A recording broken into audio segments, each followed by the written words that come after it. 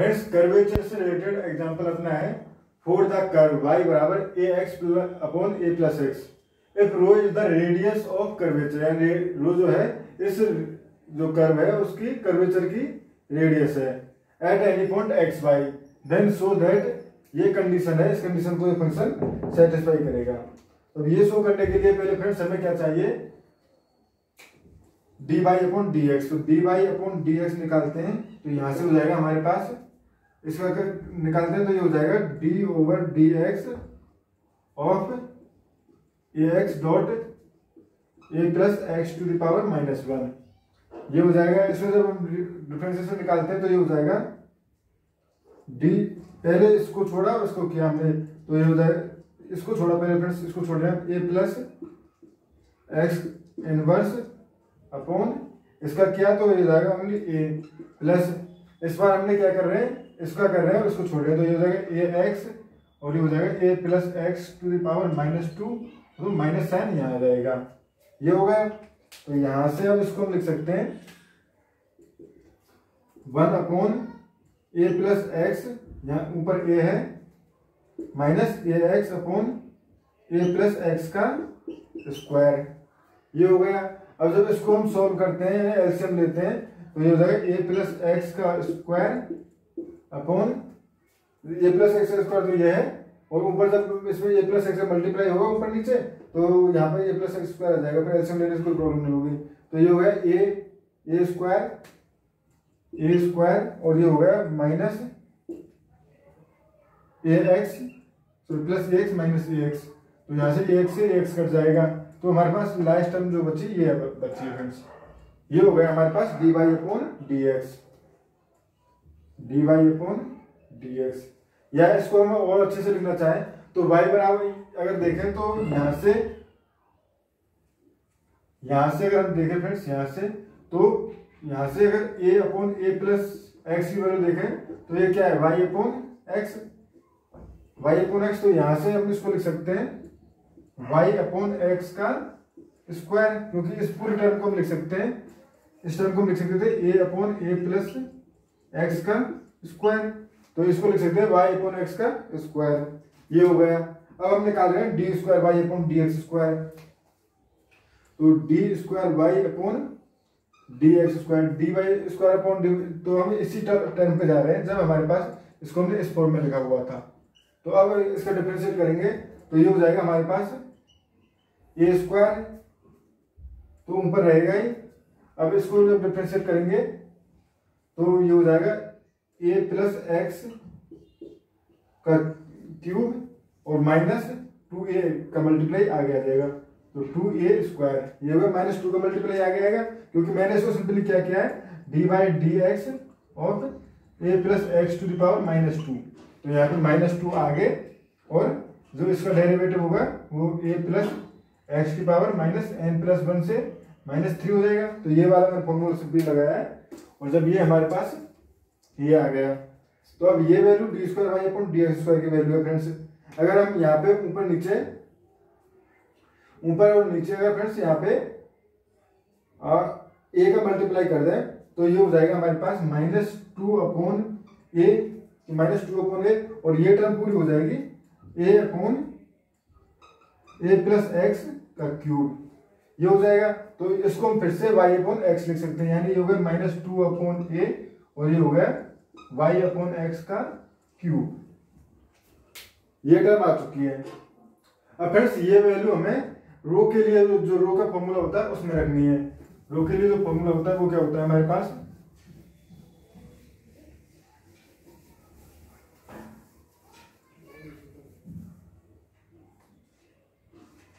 रो बराबर होता है रो बराबर one plus d y upon d x का स्क्वायर और इसकी total power three by two upon d square y upon d x square.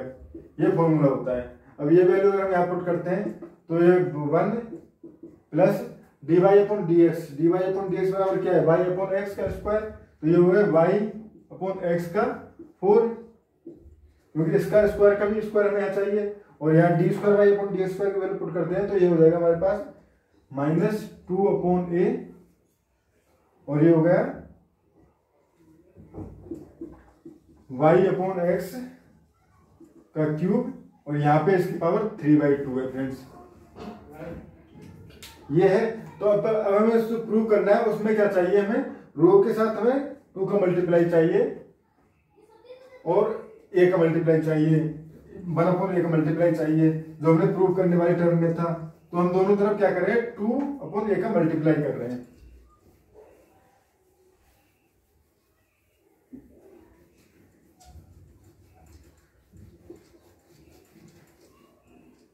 Hence अगर हम यहाँ पे दोनों तरफ़ two a two upon a two upon a का मल्टीप्लाई करें तो ये तो जाएगा टू रो अपॉन ए ये हो गया।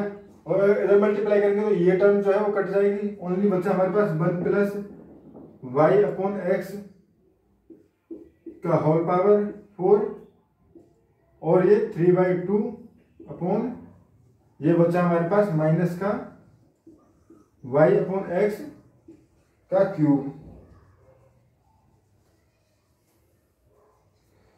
ये आ गया फ्रेंड्स हमारे पास। अब जब हमारे पास ये टर्म आ चुकी है तो फ्रेंड्स यहाँ से हम इसको ले सकते हैं। अगर हम चाहें तो इस टर्म को माइनस साइन को यहाँ लिख लें। इस, इस इसको हमने यहाँ पे लिख लिया। तो ये हो गया हमारे पास टू रो अपॉन ए और अगर दोनों तरफ़ हम रूट ले लें दोनों तरफ़ रूट लेने पे हमारे पास ये आ जाएगा वन अपॉन टू और ये आ जाएगा हमारे पास माइनस साइन अंदर है। अब भी अब भी माइनस साइन फ्रेंड्स अंदर है तो ये हो गया one plus y upon x की पावर फोर हमने रूट क्या दोनों तरफ़ रूट लिया है? रूट नहीं लेना था फ्रेंड्स स्क्वायर करना था। सॉरी दोनों तरफ़ स्क्वायर करना है। रूट नहीं लेना, दोनों तरफ़ स्क्वायर करने पे। क्योंकि हमें इसकी पावर टू बाई थ्री चाहिए फाइनली हमें। तो पहले दोनों तरफ़ स्क्वायर कर रहे हैं तो ये हो जाएगा टू रो अपॉन ए की ए स्क्वायर इक्वल टू ये हो जाएगा हमारे पास।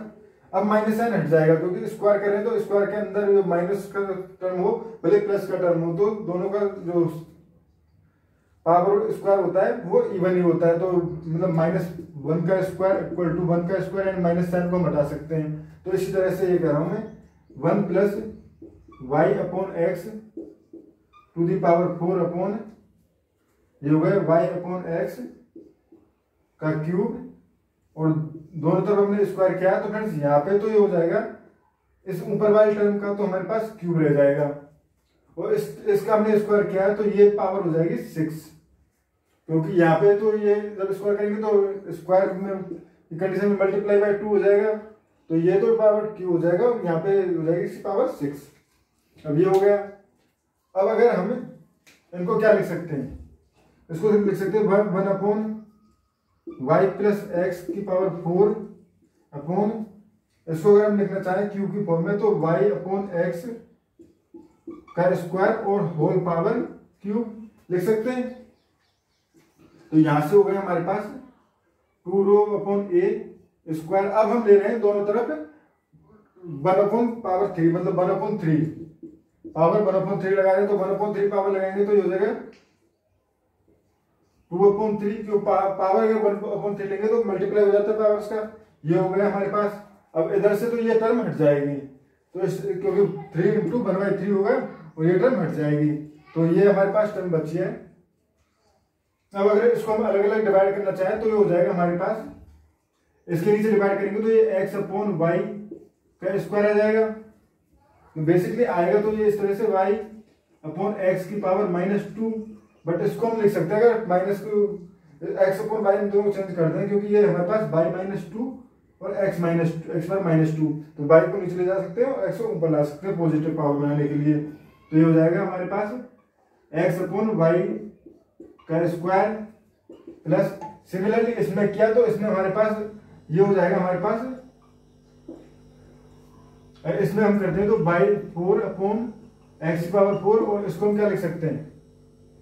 इसको हम लिख सकते हैं y square upon x square तो यहाँ पे पावर दो घट जाएँगी। ये हो गया y square upon x square तो यहाँ से टोटल फाइनल जो आया वो आ गया हमारे पास वाई अपॉन एक्स का स्क्वायर ये आ गया।